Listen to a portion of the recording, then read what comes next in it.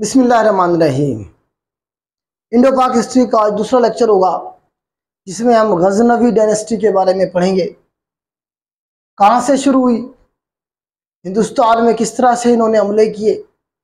Commission कौन कौन से सवाल पूछता है? वो हम सारी चीज़ें डिस्कस करेंगे। तो ये मैंने पाकिस्तान और इंडिया का मैप बनाया है ये हिंदुस्तान था कंबाइन पार्टीशन से पहले। तो यहाँ पे आपको पता है कि पाकिस्तान की ये जो वेस्टर्न साइड है यहाँ पे हमारे पास जो मुल्क है, उसका नाम है अफ़गानिस्तान।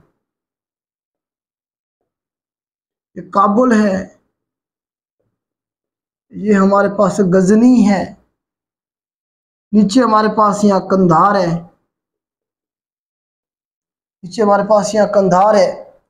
और अफ़गानिस्तान के ऊपर, जब मैंने आपको वर्ल्ड मैप पढ़ाया तो उसमें मैंने आपको बताया था कि यहाँ हमारे पास सेंट्रल एशियन रियासतें हैं। कौन सी रियासतें हैं जी हमारे पास?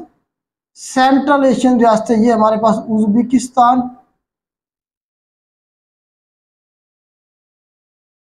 उज्बेकिस्तान, ये हमारे पास ताजिकिस्तान, ये हमारे पास किर्गिस्तान और ये हमारे पास कजाकिस्तान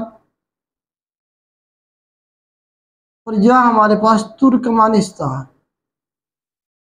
तो ये सारा हमारे पास सेंट्रल एशिया वस्ती एशिया कहलाएगा।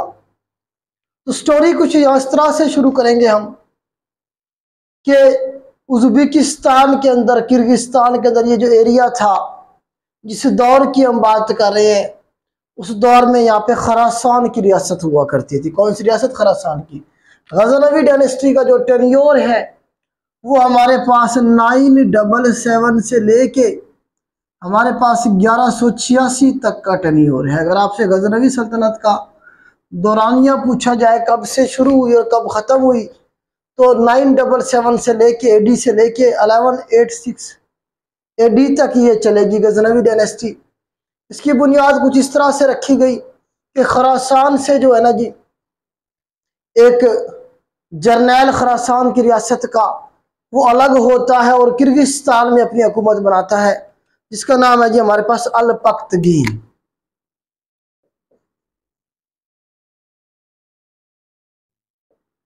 अल पख्तगीन जो था, ये खरासान की रियासत का एक जर्नैल था, ये उनसे अलग हो के एक छोटी सी रियासत बनाता है। किर्गिस्तान के अंदर उज्बेकिस्तान का ये वाला जो एरिया है, इस साइड पे तो अल पख्तगीन की आगे जो है ना, औलाद नहीं थी। इसकी अपना जो बेटा, औलाद का मतलब बेटा नहीं था, बेटी थी इसकी। बेटा तो था नहीं, इसलिए रियासत का आगे वारिस कोई नहीं था। तो अल पख्तगीन ने एक गुलाम खरीदा। उस दौर में गुलामों की खरीदो खरीदो फरोख्त हुआ करती थी। तो अल पख्तगीन ने एक गुलाम खरीदा, जिसका नाम है जी सबुख्तगीन। सबुख्तगीन। सबुख्तगीन बेसिकली गुलाम था अल पख्तगीन का। तो अल पख्तगीन ने सबुख्तगीन को जो है अपने बेटों की तरह पाला। फिर अपनी बेटी का इसके साथ निकाह कर दिया और अल पख्तगीन ने अपने बाद रियासत सबुख्तगीन को सौंप दी। रियासत सबुख्तगीन को सौंप दी। तो ये फरगाना के करीब करीब ये यहाँ पे जो है ना क्या था जी हमारे पास? कुछ इलाके थे जहाँ पे जो है ना जी फरगाना से ऊपर ये किर्गिस्तान का इलाका जो था यहाँ पे। उसके बाद जो है जब आगे चलते हैं। आगे जब चलेंगे तो सबुख्तगीन के यहाँ आगे औलाद होगी नौ सौ इकहत्तर के अंदर, कब? नौ सौ इकहत्तर के अंदर। इसका एक बेटा पैदा होगा, जिसका नाम होगा जी महमूद गजनवी महमूद गजनवी। महमूद गजनवी की पैदाइश कब हुई? नौ सौ इकहत्तर में ये पैदा होगा और एक हज़ार तीस में ये मरेगा। डेट ऑफ़ डेथ इसकी एक हज़ार तीस है। आगे चल के हम डिस्कस करेंगे। तो सबकतगीन के बारे में आपने एक स्टोरी सुनी होगी कि वो जो है ना जा रहा होता है एक दिन शिकार पे तो उसे शिकार कोई नहीं मिलता। तो उसके हाथ आते हैं दो हरण के छोटे छोटे बच्चे। तो वो उन्हें घोड़े के ऊपर बाँध के लेके आ रहा होता है। तो रास्ते में वो रुकता है, कहीं पे वो देखता है कि उनकी माँ जो हरण है वो भी पीछे पीछे आ रही होती है। तो उसे बड़ा तरस आता है कि देख माँ ने अपने बच्चों की मोहब्बत में अपने आप को जो है ना जी, शिकारी के हवाले करने के लिए आ रही है ये। तो इसे अपनी जान की परवाह नहीं की, बल्कि इसे अपने बच्चों की जो है ना मोहब्बत है। तो उसे बड़ा तरस आता है, वो हरण के जो बच्चे हैं, वो छोड़ देते हैं उसे। तो बच्चे अपनी माँ के साथ जंगल में गायब हो जाते हैं। जब ये घर आता है सबक गिन तो कहा जाता है कि इसे ख्वाब आता है कि जी, ये जो आपने काम किया, एक बेजबान पे तरस खाया तो अल्लाह पाक आपको इसका बदला देंगे। कहा यह जाता है कि उसी साल या अगले साल उसके यहाँ एक लड़का पैदा होता है, जिसका नाम महमूद गजनवी रखा जाता है, जिसका नाम महमूद गजनवी रखा गया तो महमूद गजनवी की जो तारीख पैदाइश है, वो नौ सौ इकहत्तर ए डी है और एक हज़ार तीस तक ये ज़िंदा रहेगा। तो महमूद गजनवी के नाम पे सबकतगीन असल में क्या करेगा? गजनवी सल्तनत की बुनियाद रखेगा नौ सौ सतर के अंदर, नाइन डबल सेवन के अंदर। क्या करेगा ये? तो ये पता भी किस तरह से, ये पहले इसका इलाका, ऊपर वाले इलाके में इसकी हुकूमत होती है मज़बूत, लेकिन ये नौ सौ इकहत्तर, नाइन डबल सेवन में नीचे की तरफ़ आ जाता है। यहाँ इस एरिए पे भी कब्जा करता है, गजनी के अपना यहाँ पे क्या करता है? अपनी हुकूमत का हिस्सा बनाता है तो इसलिए गजनवी सल्तनत की बुनियाद रखी गई। सबकतगीर ने इसकी बुनियाद रखी नाइन डबल सेवन में। नाइन डबल सेवन के अंदर इसने बुनियाद रखी किसकी? गजनवीद डायनेस्टी की नाइन डबल सेवन से लेकर ग्यारह सौ छियासी तक ये रहेगी। तो उस वक्त हिंदुस्तान में क्या हो रहा होता है? हिंदुस्तान में देखिए हमारे पास लाहौर है। पाकिस्तान के अंदर जो लाहौर है, ये इंपॉर्टेंट शहर था। उसके बाद ये पिशावर है जी हमारे पास। ये हमारे पास पिशावर था यहाँ पे। उसके बाद आप देखिए, ये मुल्तान है। ये मुल्तान है। ये इंडियन गुजरात है। ये इंडियन गुजरात है। गुजरात के ऊपर आपको पता है, यहाँ राजस्थान है। या राजस्थान की रियासत है। तो इस तरह से ये याद रखिएगा। तो उन दिनों में लाहौर की हुकूमत किसके पास थी? लाहौर से लेके पिशावर तक का जो एरिया था, ये सारे का सारा, ये राजा जयपाल के पास था। किसके पास था जी? राजा जयपाल, लिखें जरा, राजा जयपाल, राजा था, हिंदू राजा था, लाहौर से लेके पिशावर तक का एरिया किसी के पास था? राजा जयपाल के पास। तो राजा जयपाल क्या करता है? यहाँ से पिशावर के आगे दरा खैबर हमने पढ़ा। दरा खैबर क्रॉस करके जाता और यहाँ पे अफ़गानिस्तान के इलाकों में जाके हमला कराता है यहाँ पे हमारे पास जलालाबाद है। जलालाबाद पे कभी हमला कर आता कभी किसी और इलाके में हमला करके वहाँ से लूट मार करके वापस आ जाता। तो ग्यारह के अंदर इसने हमला करना शुरू किया था। ग्यारह नौ के अंदर। नौ सौ छियासी के अंदर राजा जयपाल ने सबकतगीन की रियासत पे हमला किया, लेकिन सबकतगीन ने कोई रिएक्शन नहीं दिया। लेकिन सबकतगीन के मरने के बाद उसका बेटा महमूद गजनवी जब हुकूमत संभालेगा तो वो क्या करेगा? रिएक्शन करेगा इसे जो है ना रिस्पॉन्स देगा और वो हिंदुस्तान में गुस्सा चलाएगा। तो ये मैं रेज करता हूँ। तो इसमें जैसे ही सबकतगीर मरा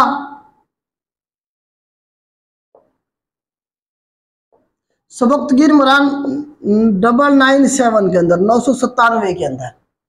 तो उस वक्त जो गजनी के अंदर मौजूद था, गजनी की जो हुकूमत थी, उसके ऊपर असमाइल गजनवी असमाइल गजनवी।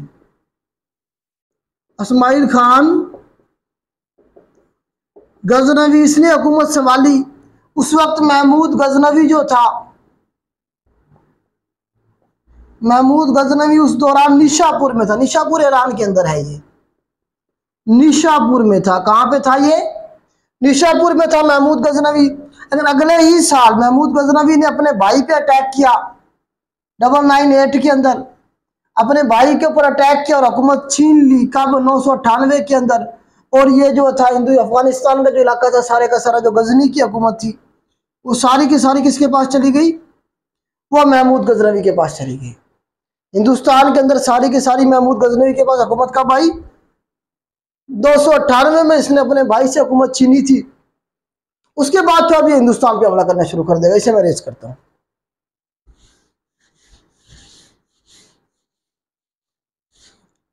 उसके बाद जो है जी, हिंदुस्तान के ऊपर पहला हमला कब किया? ये सवाल बनेगा जी। देखिए जरा। फ़र्स्ट अटैक हिंदुस्तान पे पहला हमला। ये क्या जिसने एक हज़ार में। एक हज़ार का ऑप्शन भी मिलेगा आपको, एक हज़ार एक का ऑप्शन भी मिलेगा। तो ये ज़्यादा बेहतर है, एक हज़ार एक बेहतर है। तो पहला हमला जो किया हिंदुस्तान के ऊपर, हिंदुस्तान के ऊपर महमूद गजनवी ने सत्रह हमले किए। किसने हमले किए जी? महमूद गजनवी साहब जो थे, ये इनका टेन्योर कब से कब तक है जी? ये जो है ना जी नाइन नौ सौ इकहत्तर में ये पैदा हुए और एक हज़ार तीस तक ये रहेंगे, एक हज़ार तीस तक ये रहेंगे। तो इन्होंने पहला हमला हिंदुस्तान पे कब किया जी? एक हज़ार एक का फिगर ज़्यादा बेहतर है, अगर ये ना हो तो आप एक हज़ार को भी ठीक कर सकते हैं। बहुत सारी बुक्स में एक हज़ार है, बहुत सारी बुक्स में एक हज़ार एक है। हिंदुस्तान के ऊपर पहला हमला किया, कहाँ जंग हुई? पिशावर में जंग होगी। पिशावर में जंग होगी और राजा जयपाल एक आर्मी लेके पहुंचेगा पिशावर की तरफ़। तो किस किस के दरमियान में होगी जंग? तो ये महमूद गजनवी के दरमियान में। एक साइड पे, एक साइड पे राजा जयपाल। राजा जयपाल होगा। इस तरह दोनों की जंग होगी कहाँ? पिशावर में। जंग राजा जयपाल हार जाएगा। और महमूद गजनवी ये जंग जीत जाएगा।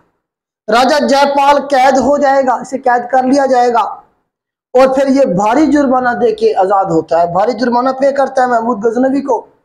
तब जाके ये आज़ाद होगा और उसके बाद फिर जो है ना ये जब आएगा वहाँ से आज़ाद होके तो ये लाहौर में अपने आप को जो है ना एक बड़े से दरख्त के नीचे आग जलवाएगा और अपने आप को उसमें ज़िंदा जला देगा। क्योंकि उसे दुख होता है, बड़े लोगों के साथ वादे करके गया था ये। और जो है ना, जब ये वादे पूरे नहीं कर सका, इसने अपने आप को जलवा लिया और हुकूमत इसने अपने बेटे आनंद पाल को दे दी। इसका बेटा था आनंद पाल हुकूमत इसने बेटे, अपने बेटे आनंद पाल को सौंप दिया और खुद को अपने आप को आग में जलवा दिया। तो इस तरह से ये मामला चले। तो पहला हमला हो गया। उसके बाद महमूद गजनवी ने जब पहला हमला कर दिया तो फिर हमले, आगे ये करता चला जाएगा। आगे ये हमले करते चला जाएगा। एक हज़ार चार में, यहाँ पे बठिंडा में बाजीराव बाजीराव की हुकूमत होती है, उस पर हमला करके जीत जाता है। और एक हज़ार छह के अंदर मुल्तान पे हमला करता है। एक हज़ार छह में मुल्तान पे हमला करता है और मुल्तान में अबू अल फतेह बैठा होता है, मुसलमान गवर्नर ही होता है, ये मोहम्मद बिन कासिम या। आप कह लें कि अब्बासियों का अबू फतेह अबू फतेह। तो मुल्तान में गवर्नर बैठा होता है, एक हज़ार छह में उसे शिकस्त देता है, इसे कब्जा कर लेता है। फिर ये लाहौर की तरफ़ बढ़ेगा। और एक हज़ार इक्कीस में ये लाहौर के ऊपर कब्जा करेगा? इसे मैं रेज करता हूँ। लाहौर पे कब कब्जा करेगा ये? एक हज़ार इक्कीस के अंदर, लिखे जरा। लाहौर में एक हज़ार इक्कीस के ऊपर कब्जा करेगा और यहाँ अपना गवर्नर किसे बनाएगा? अयाज को बनाएगा अयाज को। आपने वो शेर सुना होगा, एक ही सफ में खड़े हो गए महमूद अयाज ना कोई बंदा रहा, ना कोई बंदा नवाज़। तो महमूद से मतलब महमूद गजनवी अयाज का मतलब उसका गुलाम। ये उसका गुलाम था, उसे ये क्या करता है? अपना गवर्नर बनाता है लाहौर का। सवाल इस तरह भी पूछा गया कि लाहौर का पहला मुसलमान गवर्नर कौन था? तो अयाज था लाहौर का पहला मुसलमान गवर्नर उसके बाद ये आगे निकल जाएगा। एक हज़ार छब्बीस के अंदर ये गुजरात पे हमला करेगा, इसे मैं रेज करता हूँ। एक हज़ार छब्बीस के अंदर लिखे हज़ार छब्बीस के अंदर ये गुजरात में, गुजरात के अंदर क्या होता है जी? सोमनाथ का मंदिर होता है। क्या होता है जी?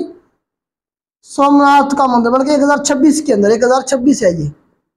एक हज़ार छब्बीस है जी, सोमनाथ का मंदिर। सोमनाथ का मंदिर तोड़ेगा। बहुत सारी बुक्स में एक हज़ार चौबीस है, जो कि गलत है।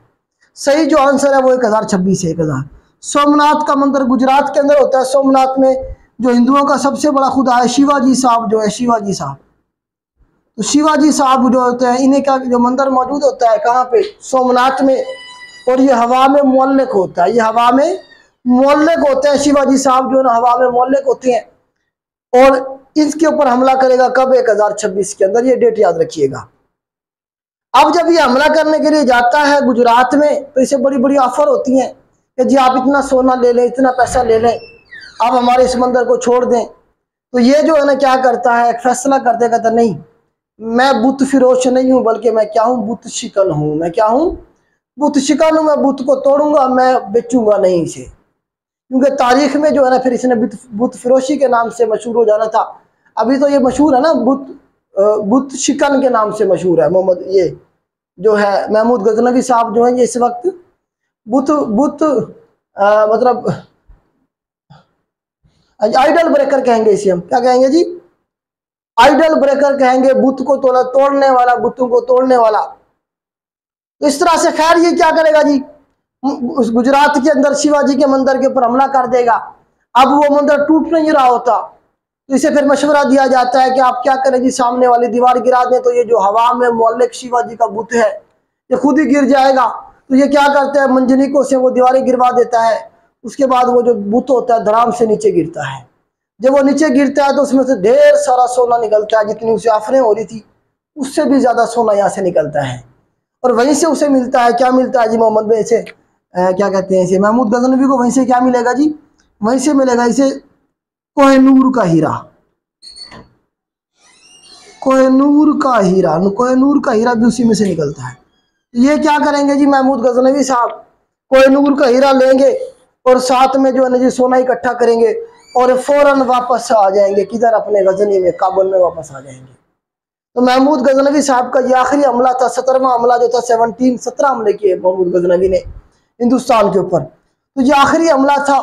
हिंदुस्तान के ऊपर एक हज़ार छब्बीस में जो इसने किया, सोमनाथ का मंदिर तोड़ा, आज भी हिंदू होते हैं। ये महमूद गजनवी आया था, इसने हमारे मंदिर तोड़ दिए थे बुत तोड़ दिए थे। तो ये जो है ना जी, मशहूर हुआ तारीख में बुत शिकन के नाम से। तो ये आखिरी हमला था। आखिरी हमला करके ये निकल जाता है, उसके बाद फिर ये हमला नहीं करता। एक हज़ार तीस में ये मर जाता है। एक हज़ार तीस में ये मर जाएगा। एक हज़ार तीस में ये मर जाएगा।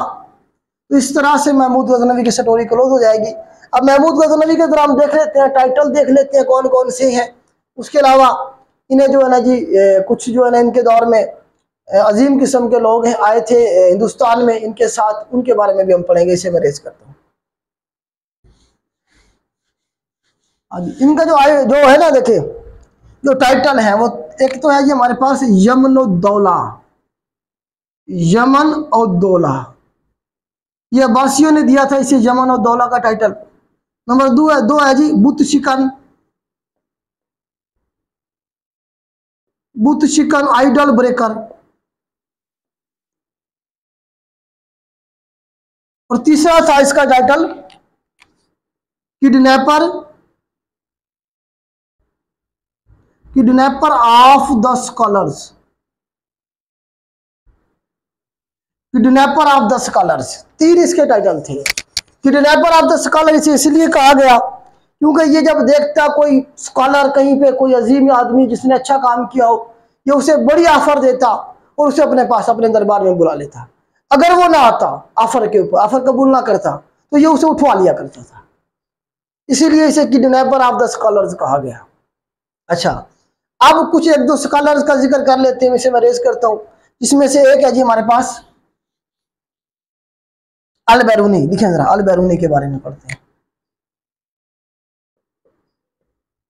अबू रिहान मोहम्मद अल बैरूनी इसका पूरा नाम था अबू रिहान मोहम्मद अल बैरूनी इसका पूरा नाम था। तो ये महमूद गजनवी के साथ हिंदुस्तान आया, एक हज़ार सत्रह के अंदर, एक हज़ार सत्रह के अंदर ये हिंदुस्तान आया, जब महमूद गजनवी ने हिंदुस्तान पे हमले कर रहा था। उस वक्त ही ये हिंदुस्तान आया था, कब? एक हज़ार सत्रह के अंदर। उसके बाद जो है ना जी हम आगे देखते हैं।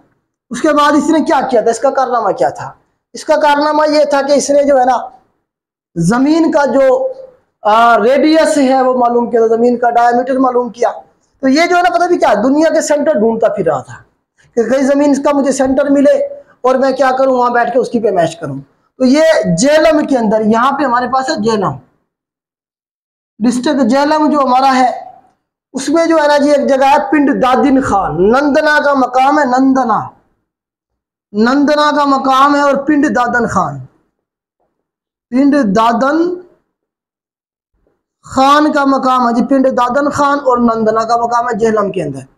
वहाँ इसने आगे अपनी डिबाटरी बनाई और वहाँ बैठ के इसने ज़मीन का रेडियस निकाला जो कि क्या था जी?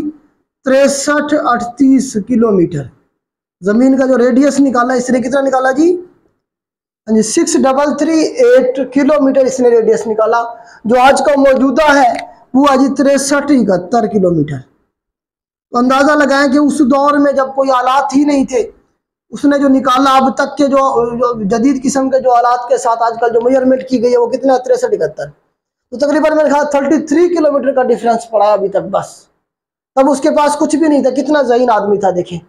ज़मीन का रेडियस निकाला उसने पूछा गया पेपर में अलबैरूनी ने कितना निकाला था ज़मीन का रेडियस ये भी याद रखना है आपने। आज का जो मौजूदा है वो भी याद रखिएगा। इसने हिंदुस्तान के ऊपर एक किताब भी लिखी थी, हिंदुस्तान की तारीख के ऊपर। किताब उल हिंद, लिखे जरा, किताब उल हिंद के नाम से इसने किताब लिखी है पूछा जाएगा पेपर में किताब उल हिंद किसने लिखी? याल बैरूनी ने जो किताब लिखी हिंदुस्तान के ऊपर, क्या नाम था उसका? किताब उल हिंद, किताब अल हिंद किताब का नाम था, इसका असल नाम था अबू रिहान मोहम्मद अल बैरूनी। एक हज़ार सत्रह में आया महमूद गजनवी के साथ, या गजनवी डायनेस्टी में हिंदुस्तान आया। नंदना के मकाम पे इसने अपना पड़ाव किया, पिंड दादन खान के अंदर जेहलम में। ज़मीन का रेडियस निकाला। उसके अलावा फिरदोसी के बारे में आपने सुना होगा, फिरदोसी के बारे में इसने शाहनामा लिखा था। उसके बारे में भी सवाल बनता है। फिरदोसी। फिरदौसी ने शाहनामा लिखा था। क्या लिखा था जी? शाहनामा लिखा था जी, शाहनामा।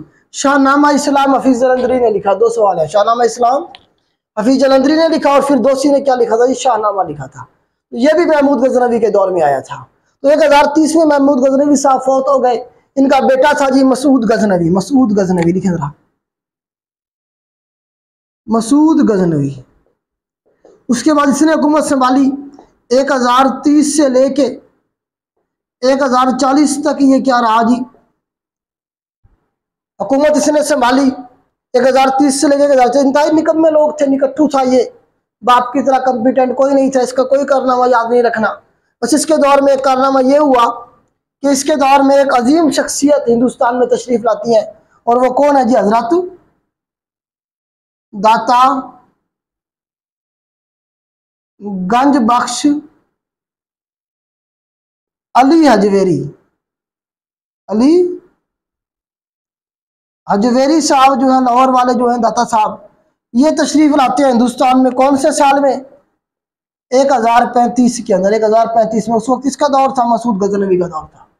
अगर पूछा जाए, दाता साहब, कब हिंदुस्तान तशरीफ़ लाए अगर डेनेस्टी पूछी जाए तो गजनवी डेनेस्टी अगर बादशाह का नाम पूछा जाए तो मसूद गजनवी, मसूद हाजी सुल्तान मसूद गजनवी के दौर में हिंदुस्तान आए एक हज़ार पैंतीस में। तो दाता साहब की जो तारीख पैदाइश है, वो एक हज़ार नौ से लेके एक हज़ार इकहत्तर है जी, एक हज़ार नौ से लेके एक हज़ार इकहत्तर तक का इनका टेन्योर है। और ये पहले सूफी बुज़ुर्ग थे जो हिंदुस्तान आए। पहले सूफी बुज़ुर्ग जो हिंदुस्तान आए, कौन से हैं जी? वो दाता साहब है, दाता गंज बख्श अली अजमेरी, अजमेर से आए थे ये। और जो है ना, ये पहले सूफी बुज़ुर्ग है जो हिंदुस्तान आए और लाहौर में आके आबाद हुए। इनकी किताब का नाम पूछा जाएगा, कशफ अल माजूब है। इनकी किताब का नाम क्या है जी? कशफ अलमाजूब। बड़ी ज़बरदस्त बुक है जी, उर्दू में मिल जाएगी ये ट्रांसलेट की हुई। पढ़िएगा अगर आपको टाइम मिले तो सूफीज़म पे बड़ी ज़बरदस्त किस्म की बुक है ये। कशफ अलमाजूब कशफ अलमाजूब जो है इनकी किताब है। और इनका असल नाम था अली बिन उस्मान। अली बिन उस्मान, इनका असल नाम था। असल नाम पूछा जा सकता है कि दाता साहब का असल नाम क्या था जी? अली बिन उस्मान, इनका असल नाम था। कशफल माजूब इनकी किताब है। एक हज़ार पैंतीस में सुल्तान मसूद गजनवी के दौर में ये हिंदुस्तान आए थे। उसके बाद गजनवी डायनेस्टी का आखिरी हुक्मरान देख रहे। आखिरी हुक्मरान जो है ना जी, देख लें इसका। वो थे जी हमारे पास खुसरू मलिक साहब थे जी, खुसरू मलिक साहब, लिखे जरा। खुसरू मलिक साहब जो थे आखिरी हुक्मरान थे जी। खुसरू मलिक साहब, बस इसका नाम याद रखना है आपने। इसका नाम याद रखना है आपने। तो ये ग्यारह सौ छियासी के अंदर जब आखिरी टाइम था तो यही हुक्मरान था। खुसरू मलिक खुसरू मलिक साहब जो थे ये आखिरी हुक्मरान थे गजनवी डायनेस्टी के, ये याद रखिएगा बस। तो यह महमूद गजनवी के हवाले से सवाल जो बन सकते थे वो यही है। इन्हें कवर करें। आज के लिए इतना ही, अल्लाह हाफिज़।